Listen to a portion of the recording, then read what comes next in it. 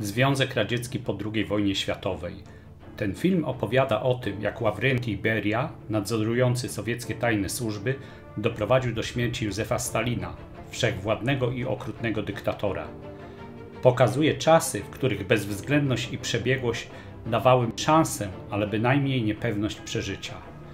Powojenne lata na dobre ukształtowały radziecki system polityczny i społeczny. Jeżeli dzisiaj chcemy zrozumieć korzenie i duszę współczesnej Rosji, to musimy poznać jej dramatyczną i dumną powojenną historię. 6 marca 1953 roku Związek Radziecki i świat obiega elektryzująca wiadomość o śmierci Stalina. Говорит Москва. 5 марта в 9 часов 50 минут вечера после тяжелой болезни скончался председатель Совета министров Союза СССР и секретарь Центрального комитета Коммунистической партии Советского Союза Иосиф Виссарионович Сталин. Jako oficjalną przyczynę zgonu podano wylew krwi do mózgu na tle nadciśnienia i miażdżycy. Jednakże splot wydarzeń w ostatnich miesiącach życia dyktatora jest wprost niezwykły. Nie dysponujemy bezpośrednimi dowodami, ale liczne i niezależne od siebie poszlaki wyraźnie wskazują na tzw. Tak udział osób trzecich w śmierci Stalina. Jeszcze zanim skonał, najważniejsi ludzie w państwie podzielili się władzą. Jeżeli Stalin został rzeczywiście zamordowany, to do jego śmierci mógł doprowadzić jedynie ten, kto był równie inteligentny, bezwzględny i przebiegły. Ktoś, kto cechował się niebywałą zuchwałością i posiadał odpowiednie możliwości. Wśród milionów mieszkańców ZSRR była tylko jedna taka osoba szef tajnych służb Ławrentii Pawłowicz Beria. Правительство, возглавляемое товарищем Маленковым, будет руководить всем делом строительства коммунизма в нашей стране tak, jak uczył Lenin i Stalin. Na czele nowego kierownictwa stanęły trzy osoby. Partią miał pokierować Nikita Chruszczow, rządem Georgi Malenkow, a głową państwa został Kliment Woroszyłow. Jednakże to Beria przez prawie 4 miesiące decydował o losach kraju. Narody naszej strony mogą być uwiereni w tym, что коммунистическая партия и правительство Советского Союза не пощадят своих сил и своей жизни для того, чтобы сохранить стальное единство рядов партии и руководства. Cofnijmy się jednak do 1945 roku. Historyczne zwycięstwa pod Stalingradem i Kurskiem, a następnie zdobycie Berlina dały Związkowi Radzieckiemu sukces w Wielkiej Wojnie Ojczyźnianej. W obleżonym Berlinie Hitler popełnia samobójstwo. Niemcy podpisują bezwarunkową kapitulację. Na dachu Reichstagu niemieckiego parlamentu zostaje zawieszona czerwona flaga z sierpem i młotem.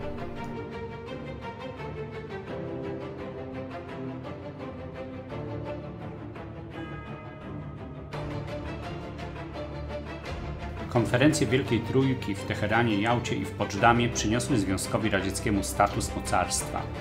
Rozgromienie faszyzmu stało się mitem założycielskim narodów ZSRR i współczesnej Rosji aż po dziś dzień.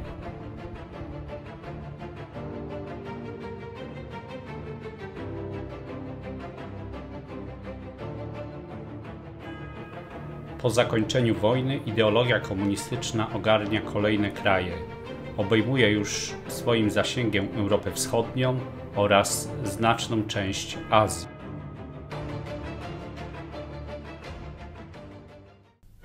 «24 июня 1945 года здесь, у стен Святого Кремля, встречала страна своих сыновей, вернувшихся с победой. Мы победили потому, что нас вел к победе наш великий вождь и гениальный полководец, маршал Советского Союза Сталин.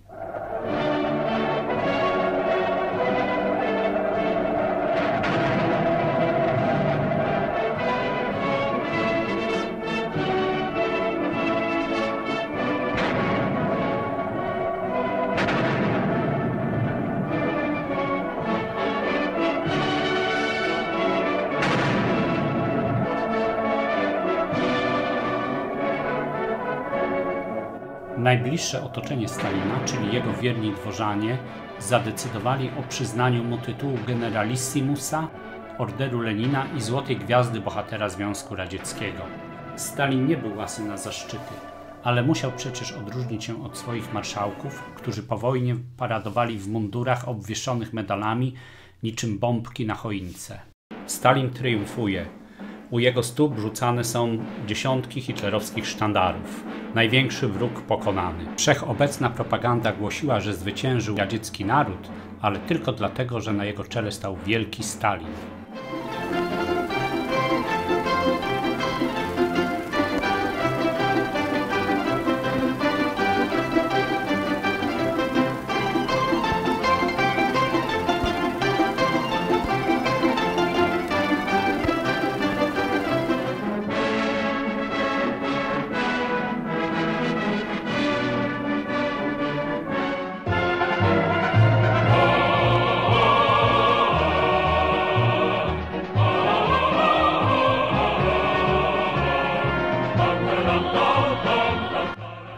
Moskwa 1945 rok. Z frontu powracają entuzjastycznie witani żołnierze. Setki tysięcy tych, którym udało się przeżyć. Jednakże w oczach Stalina byli niebezpieczni. Z zahukanych ludzi stali się pewnymi siebie zwycięzcami. Na własne oczy zobaczyli przepaść w poziomie życia pomiędzy komunistycznym rajem a światem zachodu. Tych ludzi, a zwłaszcza ich dowódców z marszałkiem Żukowem na czele, należało ponownie wziąć w karby это праздник с сединою на висках, это радость со слезами. Defilada zwycięstwa ugruntowała triumf, kult i władzę wielkiego Stalina. Fala wielkiego terroru z lat 30. zmiotła polityczną konkurencję. Ludzie, którzy z Leninem przeprowadzili rewolucję, zostali zamordowani, zamęczeni w syberyjskich łagrach bądź zmuszeni do samobójczej śmierci. Tak odeszli Kamieniew, Zinowiew, Buchari, Kirow i Trocki. Zastraszone represjami i zniewolone propagandą społeczeństwo stało się posłuszną ludzką masą. Powojenne czasy przynosiły społeczeństwu kolejnych nowych bohaterów. Szeregowi robotnicy i chłopi wynoszeni byli na piedestał przez komunistyczną propagandę. Za wzór stawiani byli zaangażowani członkowie partii, zwyciężający we współzawodnictwie pracy i budujący nowe jutro. Привет, трепал нам кудри ветер высоты И целовали облака слегка на высоту Такую, милая, ты уж не посмотришь с Do высоты ścisłej elity wkraczali także nowi ludzie. Wskazani osobiście przez dyktatora stawali za nim w pierwszym szeregu. Ich portrety wisiały w całym kraju i maszerowały w uroczystych pochodach na Placu Czerwonym w Moskwie. W ciągu 20 lat taką zawrotną karierę zrobił pochodzący z Gruzji Ławrenti Beria.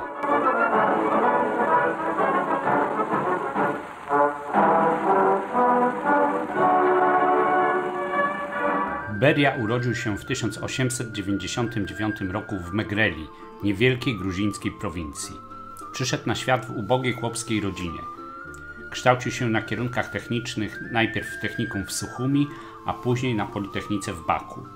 Jego młode lata przypadły na okres bolszewickiej rewolucji i ruchów nacjonalistycznych na Zakaukaziu. Beria posiadał inteligencję i przebiegłość, co pozwalało mu lawirować w tych niespokojnych politycznie czasach. Był funkcjonariuszem kontrwywiadu w Azerbejdżanie nacjonalistycznej i, dodajmy, antybolszewickiej partii Musawat. Struktury te kontrolował wywiad brytyjski. Kiedy szala zwycięstwa przechyliła się na stronę komunistów, Beria opowiedział się po właściwej dla niego stronie. Mozolnie piął się po szczeblach bolszewickiej bezpieki w Gruzji i na całym Zakaukaziu. Utorowało mu to drogę do kariery w strukturach partii. Był bezwzględny, ale i pracowity. Zasłynął jako znakomity organizator. Gruzja pod jego rządami przeżywała rozkwit gospodarczy nieznany w innych republikach sowieckich. Represje także miały inną jakościowo mniejszą skalę. Poziom życia ludzi na Kaukazie był jak na warunki radzieckie dość przyzwoity. Podczas swoich kilkuletnich rządów w Gruzji Beria prowadził zgręczną i skuteczną politykę. Ograniczył rolę starych kaukaskich bolszewików, którzy z oporami podporządkowywali się poleceniom z Moskwy. W ten sposób uzyskał nieograniczone wsparcie Stalina. Towarzyszył dyktatorowi podczas jego letnich wakacji nad Morzem Czarnym i opiekował się jego matką. Beria zaskarbił sobie wdzięczność Stalina i zdobył uznanie w radzieckim społeczeństwie dzięki opublikowanej pracy Przyczynek do dziejów organizacji bolszewickich w kraju zakaukaskim. Zręcznie udokumentował w niej tezę, iż na terenie obecnego Związku Radzieckiego były dwa centra rewolucji bolszewickiej w Piotrogrodzie i Rosji, kierowany przez Lenina, oraz w Gruzji i na Zakaukaziu ze Stalinem na czele. Beria ograniczał skutki kolektywizacji i represji. Jedynie w Gruzji funkcjonował sektor prywatny, y, w niewielkim co prawda, ale pozwalający na dodatkowe zarobkowanie zakresie. Wrogów władzy zsyłano w inne regiony kraju, ale nie na Syberię. Wielkie uprawy cytrusów, zwłaszcza mandarynek, oraz herbaty i tytoniu przyczyniły się do rozkwitu republiki niespotykanego w innych y, regionach Związku Radzieckiego. W 1938 roku Berwija zostaje wezwany do Moskwy. Zostaje mianowany zastępcą szefa NKWD, a po kilku miesiącach obejmuje władzę nad całym radzieckim aparatem represji. Fala wielkiego terroru odeszła wraz z jej architektem Jeżowem. Władcy ZSRR zdawali sobie sprawę, że dalsze masowe mordy całych grup społecznych zagrażają sile i spoistości państwa. Tym bardziej, że na arenie międzynarodowej pojawiła się ekspansjonistyczna polityka III Rzeszy i Japonii. Represje w Związku Radzieckim jednak nie zniknęły. Archipelag Gułak, czyli system obozów karnych, obejmował cały kraj, a szczególnie Syberię i Kazachstan. Pozwalał na izolowanie ludzi uznanych za winnych. Przynosił także niemałe dochody finansowe. Jedni ginęli z chorób i głodu na nieludzkiej ziemi, pozostali byli rozstrzeliwani niemal od razu, jak na przykład polscy jeńcy wojenni w Katyniu, Charkowie i Ostaszkowie. Beria był odpowiedzialny także za dyscyplinę na tyłach frontu podczas walk z hitlerowskimi Niemcami. Oddziały NKWD zabijały maruderów i dezerterów. Ich wszechwładny szef stopniowo przejmował także nadzór nad produkcją uzbrojenia. Zapobiegł klęsce na froncie kaukaskim. Zabezpieczył pobyt Stalina na kolejnych konferencjach Wielkiej Trójki. Samo pojawienie się Berii powodowało, że nagle znikały wszelkie problemy i bierność w działaniu. Nic dziwnego, że to właśnie jemu Stalin powierzył zadanie numer jeden, czyli uzyskanie przez Związek Radziecki bomby atomowej. Siła polityczna Berii, jego absolutna bezwzględność, ale też i perfekcyjna organizacja pracy dały strategiczny sukces w ciągu zaledwie trzech lat. Beria w ten sposób kupił sobie czas, gdyż Stalin odłożył plan jego eliminacji. Należy tutaj wspomnieć, iż na początku lat 50. Beria nie kierował bezpośrednio organami bezpieczeństwa. Ich szef, czyli minister, podlegał bezpośrednio Stalinowi, ale Beria jako kurator, czyli nadzorca bezpieki z ramienia Politbiura, posiadał wpływy oraz własną sieć informatorów. Nikt nie był pewien swojego życia. Przed jego utratą nie chroniły ani funkcje partyjne i państwowe, ani zasługi dla kraju, ani też przynależność do najbliższej rodziny dyktatora. Nawet szefowie NKWD z czasem wpadali w śmiertelną otchłań w ślad za swoimi ofiarami. Przez wszystkie lata swojej władzy Stalin systematycznie pozbywał się kolejnych ekip rządzących krajem. Śmierć polityczna przynosiła zagładę fizyczną także dla członków najbliższej rodziny i współpracowników.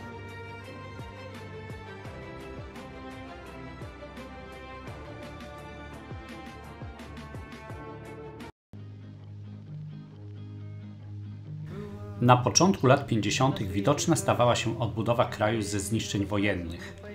Ludzie powoli zapominali o siermiężnych latach rewolucji i, i wojny. Poprawie ulegały warunki zwykłego codziennego życia. Pozycja ZSRR na arenie międzynarodowej także dawała powód do dumy. Jednakże wiecznie podejrzliwy Stalin ze swoimi prawdziwymi i urojonymi rękami był zaniepokojony.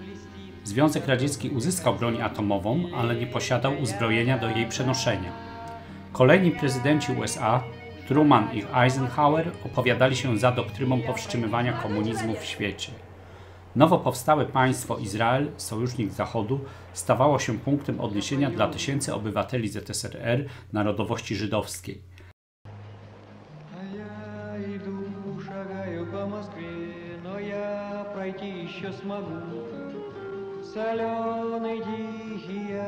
Wskutek zaostrzenia sytuacji międzynarodowej Stalin postanowił skonsolidować społeczeństwo, uderzyć jednocześnie w wybrane grupy powiązane w wielki antypaństwowy spisek. Zwykli ludzie nie byli świadomi, że nadchodzi fala wielkiego terroru o atomowej sile rażenia.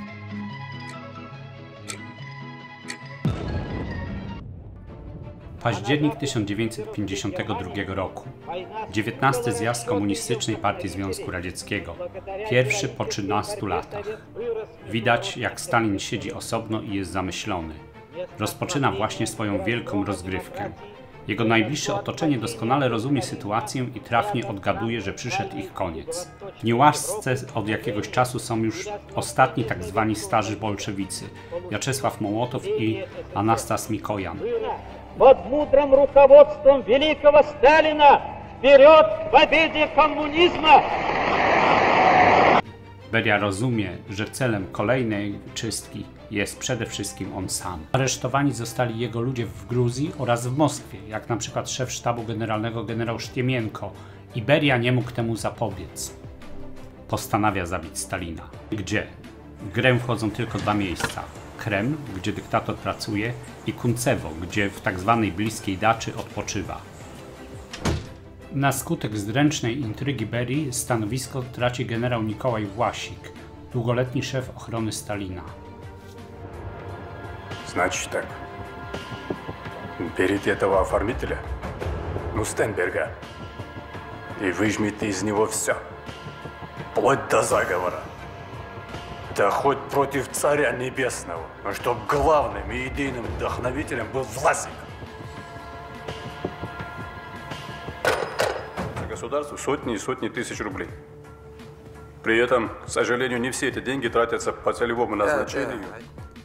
Generałowi Własikowi postawiono zarzuty korupcyjne oraz obyczajowe. Beria, dobrze znający psychologię Stalina, zręcznie dołączył zaniedbania urzędnicze. Pozornie znajdowały się one na drugim planie, ale w rzeczywistości Beria trafnie odgadł, że to ostatecznie przesądzi o aresztowaniu Własika. Generał Własik zostaje odsunięty, a następnie aresztowany. Sprawdzi się to, co powiedział kiedyś swoim bliskim, że jak mnie zabraknie, to Stalin nie przeżyje pół roku. Kolejna intryga Berii eliminuje Aleksandra Poskryobyszewa, osobistego sekretarza Stalina. W taki sposób dyktator stracił drugiego oddanego mu człowieka. Aż dziw bierze, że mistrz intryg, jakim był Stalin, nie przewidział skutków usunięcia dwóch najbliższych sobie ludzi. Na początku 1953 roku w Prawdzie, najważniejszej gazecie w kraju, ukazał się artykuł pod tytułem Podli szpiedzy i mordercy pod maską profesorów lekarzy. Kłamliwy zarzut o przeprowadzonych i planowanych zabójstwach czołowych radzieckich dygnitarzy miał doprowadzić do antysemickich pogromów. Doktor Timoszuk, której zeznaniami się posłużono, została przyjęta na Kremlu i otrzymała order Lenina. Gazeta ujawniała także brak czujności w organach bezpieczeństwa. Berii, który pod koniec poprzedniego roku usunął strzegących bezpośrednio Stalina ludzi, szefa ochrony Własika i osobistego sekretarza Poskryobyszewa, pozostała jeszcze jedna przeszkoda. 15 lutego, na dwa tygodnie przed zgonem Stalina, umiera nagle na serce generał Piotr Kosynkin. To komendant ochrony Kremla, który w sile wieku niespodziewanie schodzi z tego świata.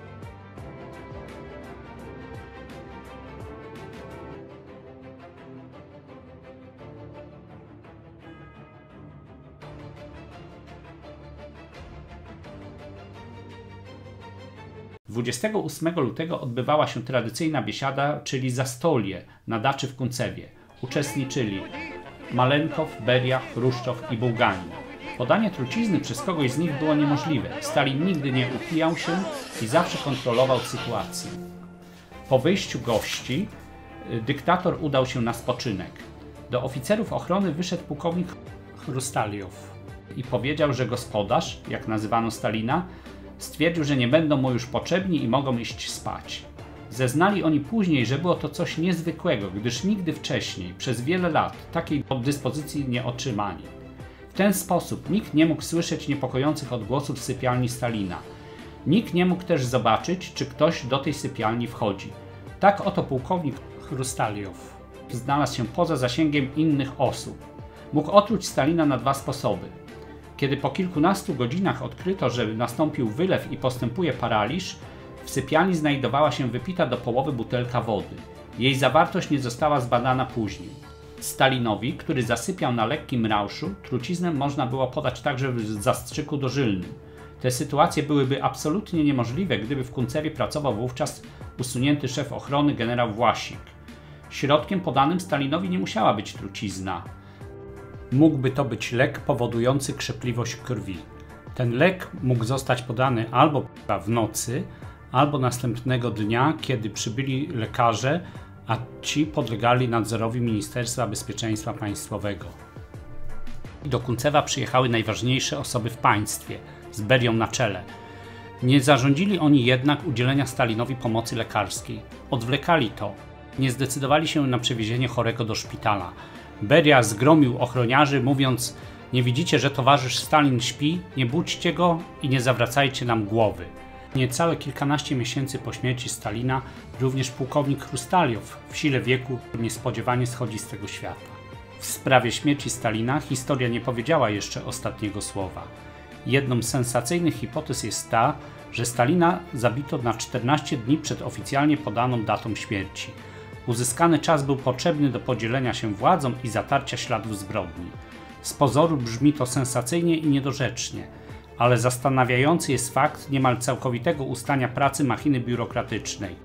Od połowy lutego 1953 roku zamarła także publiczna obecność Stalina. Jego obecność w Teatrze Balszoi w dniu 27 lutego o niczym nie świadczy, gdyż dyktator wykorzystywał często swoich sobowtórów. Co ciekawe, nie wszystkie dokumenty dotyczące śmierci Stalina, a później także Iberii zostały odtajnione. Spoczywają nadal w archiwum prezydenta Federacji Rosyjskiej oraz w archiwum Federalnej Służby Bezpieczeństwa Rosji.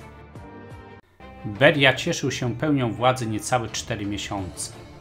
Pod koniec czerwca 1953 roku został obalony, aresztowany i zabity. Okazało się, że na śmierci jednego i drugiego drapieżcy najbardziej skorzystał Nikita Siergiejewicz Chruszczow, ale to już zupełnie inna historia.